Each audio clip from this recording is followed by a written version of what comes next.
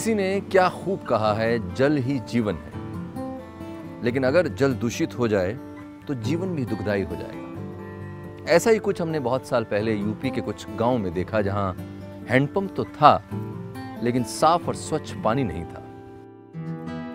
ग्रामीण क्षेत्रों में हैंडपंप के स्वच्छता सर्वे के दौरान ये पाया गया कि कई जगह हैंडपंप टूटा हुआ था। हैंडपंप का चबूतरा ठीक नहीं बना था। सैनिटरी सील और फाउंडेशन ब्लॉक नहीं था जिस वजह से पीने का पानी दूषित हो रहा था और लोग जाने अनजाने में वही प्रदूषित पानी पी रहे थे।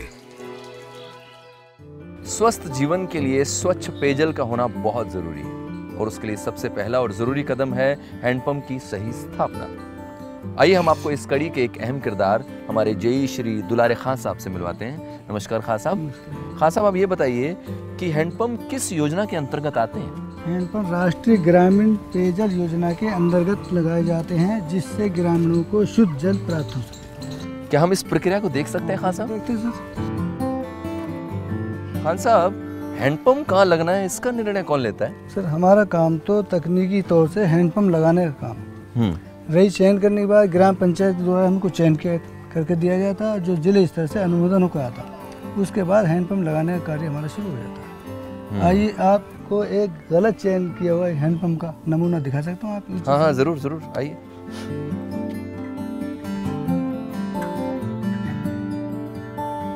खान साहब जी सर। ये स्थान कैसे गलत है? ये सर नाली के बराबर में है नीचे से फाउंडेशन के नीचे से गड्ढा हो रहा सुराख सा हो रहा। ये जो पानी इसमें जा रहा है इससे पानी दूषित हो रहा। इधर बराबर में साथ शौचालय का एक गड्ढा है इससे भी पानी दूषित होने का इसका अंदेशा है। हम्म, तीसरे चारों तरफ़ इसमें कूड़ा करकट और गंदगी फैली हुई है। हम्म। इससे भी पानी दूषित हो सर। तो खान साहब लोगों को क्या करना चाहिए फिर? लोगों ये चाहिए कि यहाँ कपड़े न धोएँ। अब इन्होंने कपड़े धोए तो साबुन का पानी से ये फैला हुआ। हम्म, हम्म, इससे भी पानी दूषित हो रहा है। आसपास के लोगों की ज़िम्मेदारी बनती है कि इसको साफ़ सुथरा रखें। हम्म, भैंस जानवरों को पानी ना पिलाएँ ना नहलाएँ जानवरों को कपड़े ना धोएँ। इसकी साफ़ सफ़ाई रखें देखभाल रखें। ये हमारी सबकी ज़िम्मेदारी आसपास के लोगों के हैंडपम्प की रख रखाव तो देखा आपने हैंडपंप की सफ़ाई कितनी ज़रूरी है? खान साहब क्या आप हमें कोई सही स्थल चयन का नमूना भी दिखा सकते सर हैं? बिल्कुल दिखाऊँगा। आइए सर। आइए।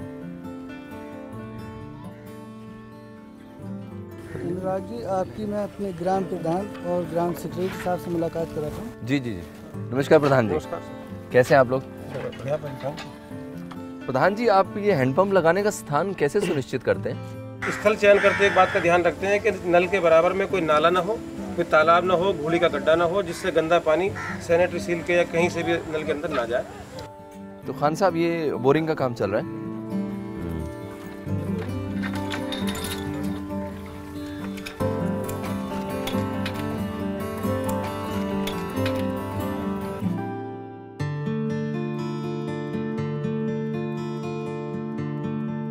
खान साहब ये बोरिंग होने के बाद क्या सावधानी बरतनी चाहिए? सबसे पहले सैनिटरी सील का होना बहुत ज़रूरी है। वो क्या होता है सैनिटरी सैनिटरी सील होती है लोरिंग होने के बाद जो पाइप और ज़मीन के बीच में गैप रहता हुआ तो तीन मीटर तक मसाला डाल करके बजरी उसमें ठोक दी जाती है ताकि पाइप हिल भी ना पाए और जो इधर उधर का पानी दूषित भी ना हम्म।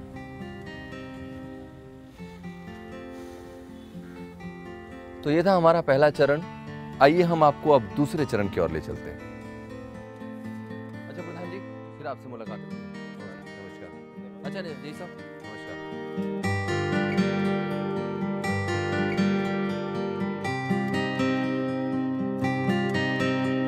लॉरिंग कंप्लीट होने के पश्चात ग्राउंड लेवल से लगभग तीन मीटर डेप्थ में इम्परवियस सॉइल से हमें उसको जो है सील करना होता है। ये सीलिंग का काम करता है। 50 परसेंट हमारे पोल्यूशन को ये कंट्रोल करता है। आइए अब हम आपको हैंडपंप की स्थापना के दूसरे चरण फाउंडेशन ब्लॉक की निर्माण प्रक्रिया के बारे में बताते हैं। आइए हम आपको मिलवाते हैं हमारे मिस्त्री श्री राजवीर सिंह जी से। नमस्कार मिस्त्री जी। नमस्कार साहब। मिस्त्री जी ये जो ये तीन लगे हुए हैं क्या है ये? ये पैर हैं साहब। इनका क्या काम होता है? इनका ये काम है साहब इसे मजबूताई के हिलने के लिए जो हिला ना ये। जमा के रखते हैं। जमा के रखते हैं। जमा। तो इनकी कोई दिशा होनी चाहिए या किसी भी तरीके से लगा देते हैं हाँ सही तरह का ये है साहब कि हत्थे की तरफ़ दो पैर और टोंटी की तरफ़ एक पैर जो कि हाथी की तरफ़ ज़ोर पड़ता है। जो कि इसलिए मज़बूत रहना चाहिए। अच्छा। हाँ। और ये जो आपने गड्ढा खोदा है इसका कोई कोई साइज़ है या आप ऐसे कुछ भी ये साहब छिहत्तर बाई छिहत्तर का खोदा जाता है और 40 सेंटीमीटर गहरा खोदा जाता है। तो उसके बाद क्या करते हैं इसमें? मज़बूत बनाने के लिए रोड़ी डालते हैं मसाला डालते हैं। अच्छा रोडी डालेंगे आप इसमें। उसके सीमेंट डालेंगे मज़बूत हो जाए। फिर उसके बाद इसको बंद कर देते हैं बंद कर देते हैं साहब इसको क्या बोलते हैं? सर इसे फाउंडेशन ब्लॉक बोलते हैं।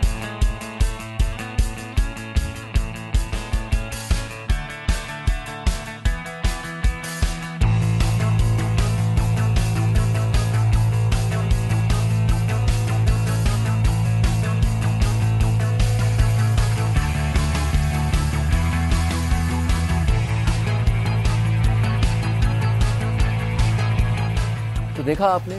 ये था फाउंडेशन ब्लॉक बनाने का सही तरीका।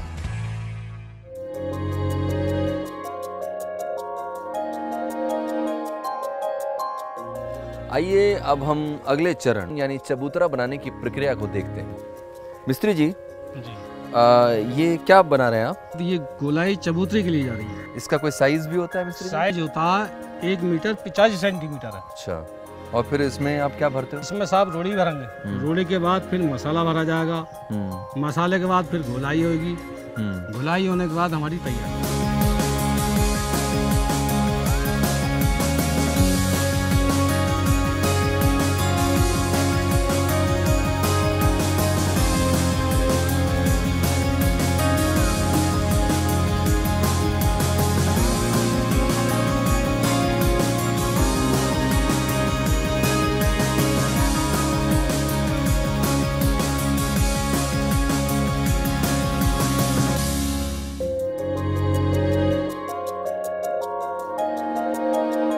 तो मिस्त्री जी अब हम क्या करेंगे? चबूतरे के ऊपर और पास ईंटें लगाएँगे हम्म, और इसे पक्का करेंगे जो क्या गंदा पानी अंदर नहीं आ सके।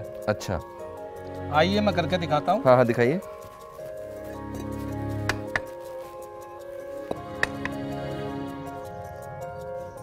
मिस्त्री जी ये चबूतरा टूटता क्यों है? चबूतरा इसलिए टूटता है साहब ये इस पर गाय भैंस बैल बांधे जाते हैं।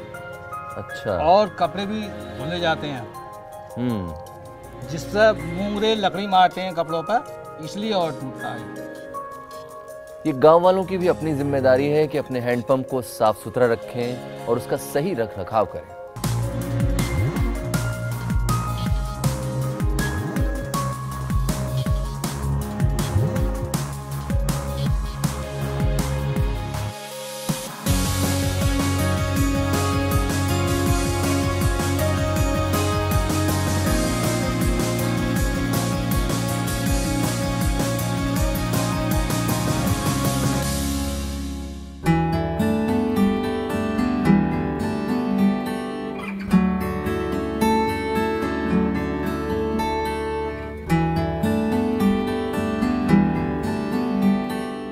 मिस्त्री जी ये चबूतरे के आसपास ईंटें तो बिछ गई हैं पर ये ये गड्ढा क्यों बनाया आपने?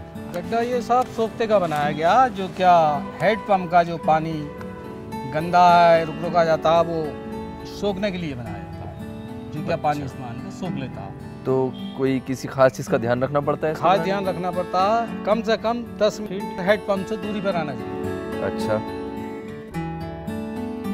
और ये छोटा गड्ढा क्यों बनवाया? छोटा गड्ढा इसलिए बनाया जाता है जो हैंडपम्प पंप का जो कूड़ा कबाड़ा या रेत मिट्टी इसमें आ जाती है छोटे गड्ढे में और इसके बाद साफ़ पानी सोखते में जाता है। जो क्या सोखता हमारा आराम से सोख ले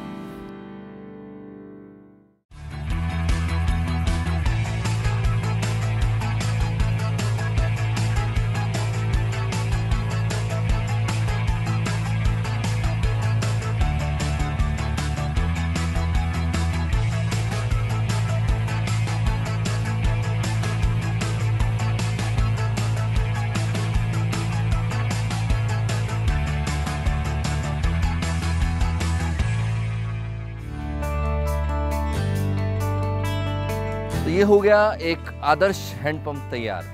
धन्यवाद मिस्त्री जी। तो आइए इस पूरी प्रक्रिया के चरणों को एक बार फिर से देख लेते हैं। पहला कदम है सैनिटरी सील का लगना, जिसमें बोरवेल और केसिंग पाइप के बीच की खाली जगह को सीमेंट और बालू के मिश्रण से बंद किया जाता है, जो कि ज़मीन के तीन मीटर नीचे तक किया जाता है। अगला कदम है फाउंडेशन ब्लॉक बनाने का, जो कि 76 गुणा छिहत्तर सेंटीमीटर और 40 सेंटीमीटर गहरा होता है। इसको रोड़ी और सीमेंट के मसाले से भरा जाता है। फाउंडेशन ब्लॉक हैंडपम्प को मजबूती प्रदान करता है और पानी को दूषित होने से भी बचाता है। फाउंडेशन ब्लॉक के बाद प्लेटफॉर्म बनाया जाता है, जिसे चबूतरा भी कहते हैं। इसका साइज़ एक मीटर पचासी सेंटीमीटर का होता है और इसे भी रोड़ी और सीमेंट के मसाले से बनाया जाता है। प्लेटफॉर्म को मज़बूत करने के लिए उसके चारों तरफ़ ब्रिक लाइनिंग की जाती है, जिसकी पीसीसी की मोटाई 50 मिलीमीटर की होती है। और उसके बाद बनाया जाता है सिल्ट कैचर और सोक पिट का गड्ढा। इस सिल्ट कैचर में पानी के साथ जो छोटे पत्थर या मिट्टी के कण होते हैं, वे नीचे जमा हो जाते हैं और पानी ऊपर से छन कर आगे निकल जाता है सोक पिट में। सिल्ट कैचर का साइज़ होता है 60 गुणा साठ सेंटीमीटर और सड़सठ दशमलव पाँच सेंटीमीटर गहरा। तो देखा आपने हैंडपंप में स्वच्छता सुधार करने का सही तरीका। उम्मीद करता हूँ कि ये पूरी प्रक्रिया आपको अच्छी तरह से समझ में आ गई होगी। और जल ही जीवन है, इस कहावत को सच साबित करने में पूरा सहयोग करेंगे आप लोग। नमस्कार।